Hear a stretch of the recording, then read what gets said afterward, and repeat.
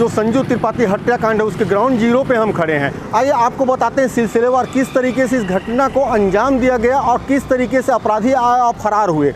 आप देख सकते हैं यहाँ पे अभी भी कांच के टुकड़े जो हैं, उनके गाड़ी के पड़े हुए हैं। यहाँ पे अभी भी कांच, देखिए, गाड़ी देखिए, किस तरीके से यहाँ पे स्लो होती है। इसका अपराधियों ने भरपूर फ़ायदा उठाया है। यहाँ पे देखिए, गाड़ियाँ स्लो हो जाती है। जिसका अपराधी है जो बदमाश है फ़ायदा उठाते हुए उनको गोली मारकर निकल गए। गोली मारी गई और इस घटना को अंजाम दिया गया।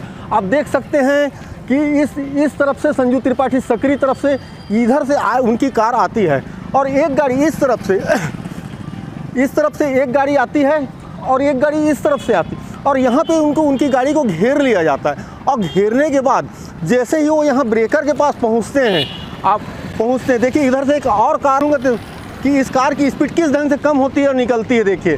किस ढंग से स्पीड की, स्पीड कम हो गई गाड़ी के तो इसका बदमाशों ने भरपूर फ़ायदा उठाया है और उनको गोली में की संजू त्रिपाठी जो हैं, उनकी हत्या का, हत्या के लगता है कि उनको अंदेशा था, इसलिए उन्होंने घर जाने के पहले उन, जिस हिसाब से उनके परिजनों से बात हुई तो उनका कहना है कि त्रिपाठी जी ने बताया था कि बैग पैक कर लीजिए और मेरी हत्या हो सकती है, हम कहीं बाहर निकलेंगे।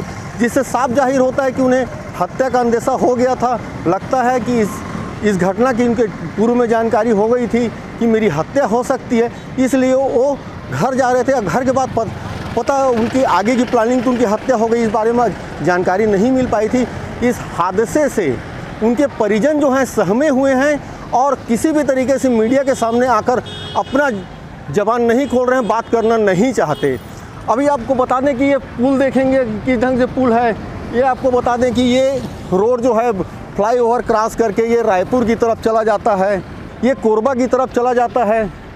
लेकिन हत्यारों का जो है, उनको गोली मार के जो उन्होंने हत्या की, उनका खास मकसद ये था कि यहाँ पे देखिए दूर दूर तक नज़र डालिए, दोनों तरफ़ व्यस्त रोड है, लेकिन यहाँ पे किसी भी प्रकार का कोई सीसीटीवी कैमरा नहीं लगा है।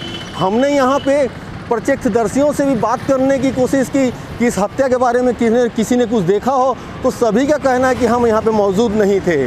पुलिस अधिक, अधीक्षक महोदय से बात हुई है तो उनका कहना है कि तफ्तीश जारी है, जल्द ही आरोपी गिरफ्त में होंगे। मुंगेली जीरा ब्यूरो, सील पाठक के साथ मैं फिरोज खान, समय न्यूज़। थाने में खड़े यहाँ पे आपको देख सक, आपको बता दें कि यहाँ पे एसएसपी मैडम जो है, पारुल माथुर वो भी पहुँची हुई हैं, और सघन जाँच इस मामले की की जा रही है।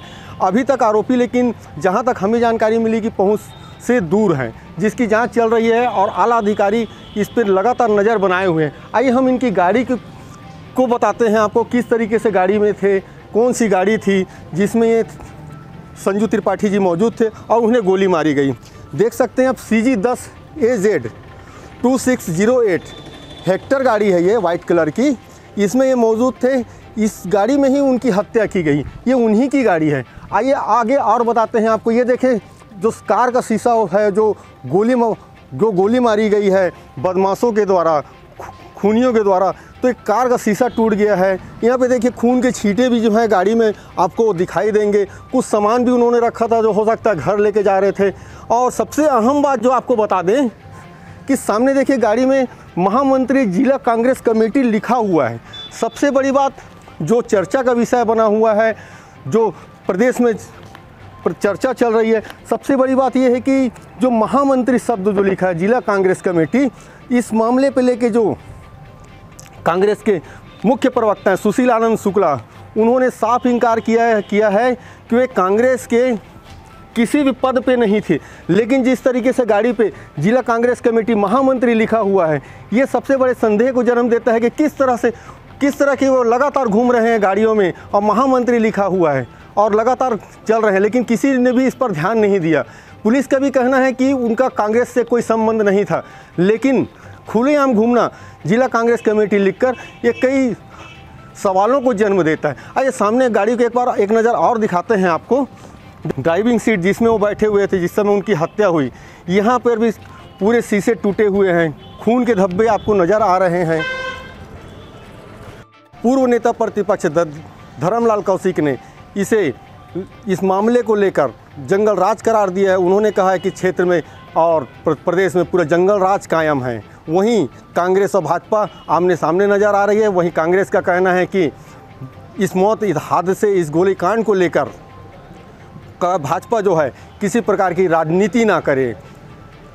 अभी तक की पूछताछ में और सारे जितने भी क्लूज मिले हैं उससे अभी तक पारिवारिक विवाद ही मुख्य कारण घटना का उभर के आ रहा है। पुलिस कुछ आरोपियों की तलाश कर रही है संदेहों से पूछताछ भी जारी है और आसपास के जितने भी टेक्निकल एविडेंसेस हैं उस पर भी लगातार काम किया जा रहा है। ये एक अ, कार लावारिस हालत में मिली है। ब्लू कलर कार है जो शूटर्स थे ऐसा बताया जा रहा है।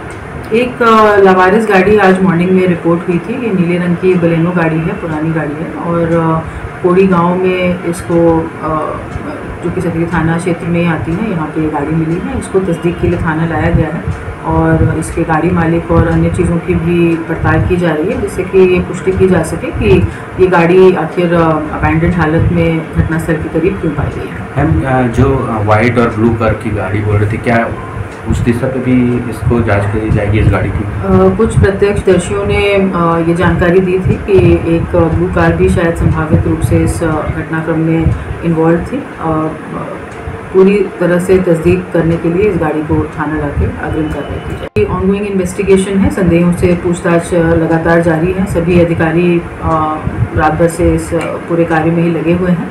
और हमें उम्मीद है कि जल्दी ही जो पूरा घटनाक्रम है वो क्लियर संजू का छोटा भाई अब तक के कुछ पता चल पाया? कपिल त्रिपाठी की अभी तक पकड़ नहीं हो पाई है। वो घटना समय से ही फरार है और उसको भी पुलिस तलाश रही है। इस मामले में लगातार बिलासपुर एसएसपी है जी जो हैं पारुल माथुर वो लगातार नज़ार बनाए हुई हैं। जहाँ तक हमें जानकारी मिली है अभी वर्तमान में कि एक जो ब्लू कलर की कार मिली है उसे जब्त किया गया है और छानबीन चल रही है। और उन्होंने बताया कि जल्द ही इस मामले में लोगों से पूछताछ चल रही है और जल्द ही मामले का खुलासा होगा। वहीं इस मामले में जो संदिग्ध है कपिल त्रिपाठी, संजू त्रिपाठी के भाई, वो अभी तक लापता है और उनका अभी तक तलाश पुलिस के द्वारा किया जा रहा है और एसएसपी पारुल माथुर का कहना है कि जल्द ही उन्हें भी हिरासत में लेकर ले लिया जाएगा और पूछताछ किया जाएगा। तभी इस मामले का खुलासा हो पाएगा।